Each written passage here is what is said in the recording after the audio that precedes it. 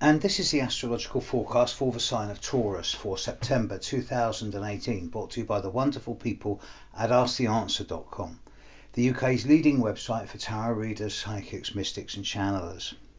Now, for the majority of you, there's going to be a kind of background itch that you can't scratch over most of this month. It's going to be centered on the middle of the month, but the, the, the, the vibes, if you like, are going to be all month. But this is not something that you can actually do a lot about. I mean, some of you are in a pretty good space. In fact, the majority of you are fairly safe.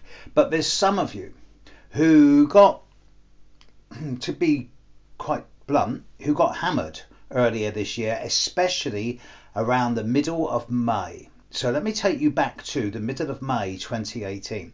And if you found that the middle 10 days of May of this year were tumultuous, upsetting, disruptive, chaotic, or had an element of edginess about them, then I have to tell you that the middle eight days of September this year, the 11th through to the 19th, is in many ways the finale to this type of energy, and that one way or another, by the end of September, the stuff from May should be able to be put to bed.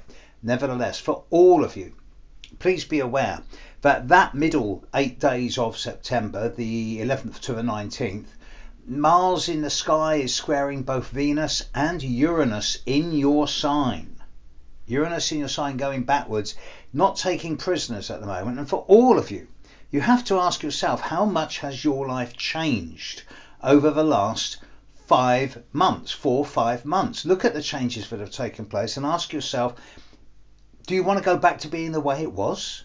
Or are you content to let change have your way? And if it's the former, then you're probably barking up the wrong tree. And if it's the latter, then you're doing yourself some favours. So, as far as September 2018 goes, it's the end of the beginning of a period of compressed and concentrated change. Let change have its way.